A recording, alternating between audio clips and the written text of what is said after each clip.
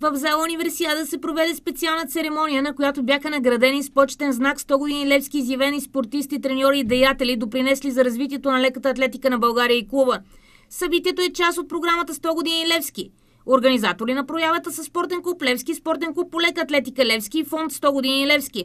Гост на проявата бе председателят на Българска федерация лека атлетика Добромир Карамаринов, а церемонията бе открита от председателя на спортни клубове Левски Стоян Хранов. 111 сини шампиони бяха наградени, като голяма част от лекоатлетите не присъстваха в залата. Йорданка Благоева бе сред гостите.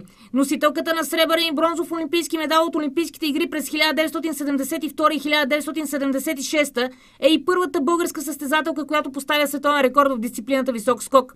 Тя ще получи своята награда на 24 май, когато сините ще навършат 100 години. На тази дата ще бъдат наградени всички, които са печелили отличия на Олимпийски игри.